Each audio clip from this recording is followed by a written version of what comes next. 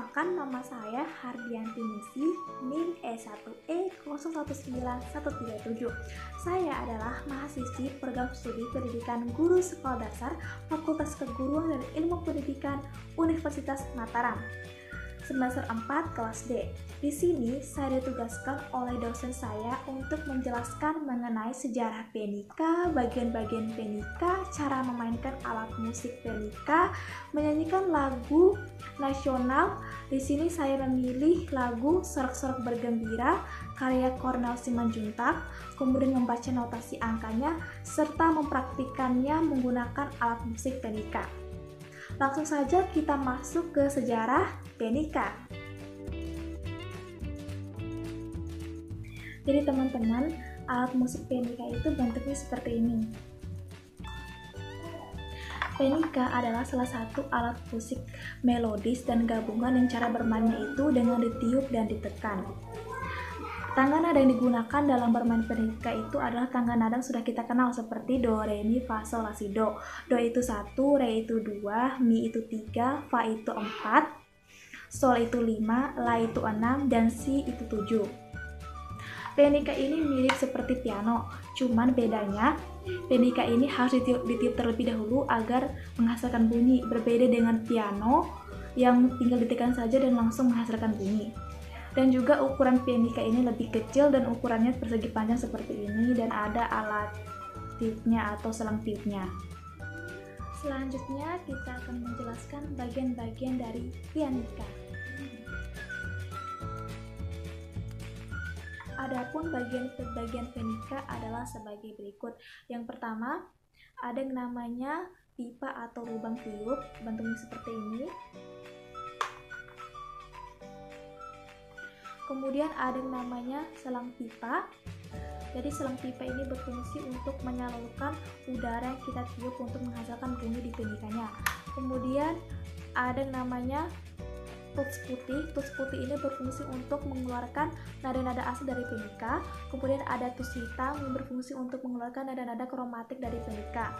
Kemudian di belakangnya itu uh, ada tempat uh, keluarnya udara. Jadi di sini itu tempat keluarnya uh, lantunan musik yang dikeluarkan dari penika pada saat kita meniup uh, di selang pipanya.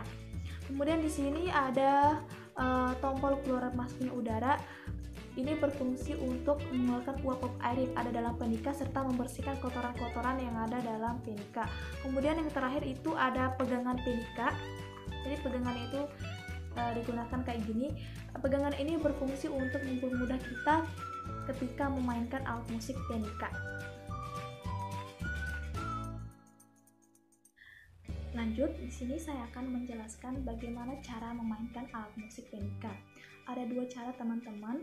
Yang pertama, kita menggunakan saluran pipa pianika ini, kemudian kita sambungkan bagian ujungnya ke badan pianika seperti ini kemudian ujung lainnya kita tiup teman-teman dan dimasukkan ke dalam mulut kemudian kita manfaatkan pegangan penikin di belakang ini untuk kita simpan untuk kita sebagai pegangan bisa teman-teman menggunakan tangan kiri atau tangan kanan eh, mana senyamannya teman-teman kemudian ujung satunya kita masukkan ke dalam mulut dan kita tekan pus penikanya caranya seperti ini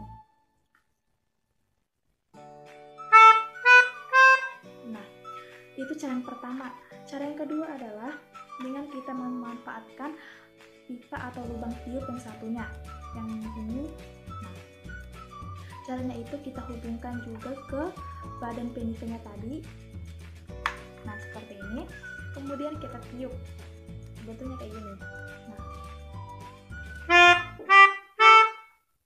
uh, bedanya adalah cara yang kedua ini agak lebih susah karena kita nggak bisa melihat uh, tangga nada ataupun notasi angka serta notasi huruf di pendika ini jadi kita harus menghafal notasi angkanya untuk bisa memainkan alat musik berbeda dengan cara pertama kita bisa sambil lihat hurufnya seperti ini Selanjutnya, saya akan memainkan salah satu lagu nasional Indonesia yang berjudul Sorak-Sorak Bergembira yang diciptakan oleh Cornel Simanjuntak. Sebelumnya, saya akan menjelaskan terlebih dahulu sejarah dari lagu nasional Sorak-Sorak Bergembira.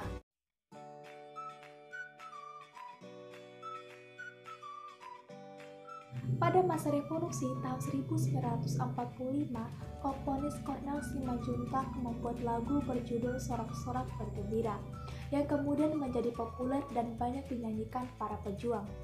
Pada suatu hari, Cornel mengajak kawan-kawannya berkeliling Jakarta.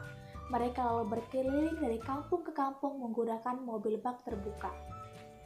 Di sepanjang jalan, dengan iringan sebuah gitar, mereka menyanyikan lagu-lagu perjuangan, sorak-sorak bergembira, maju tak gentar, dan lain-lain sambil melambaikan bendera merah putih. Kisah Bisan Stompul dalam Cornel Simanjuntak, komponis penyanyi pejuang.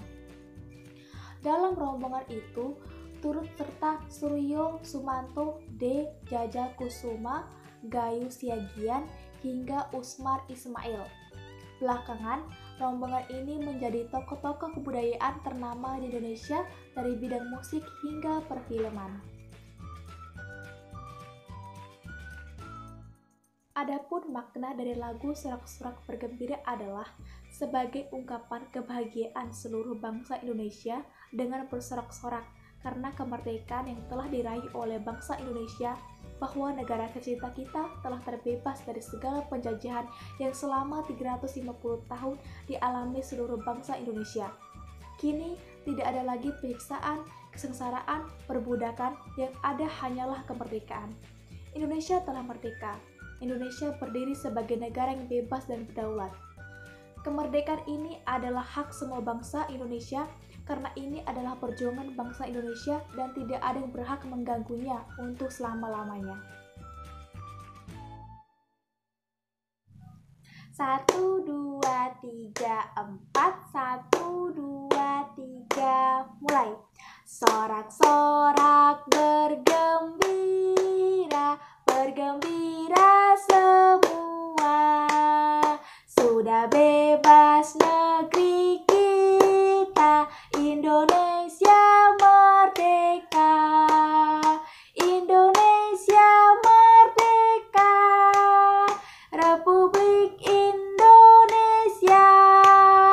Itulah hak milik kita Untuk selama-lamanya Indonesia merdeka Republik Indonesia Itulah hak milik kita untuk selama-lamanya.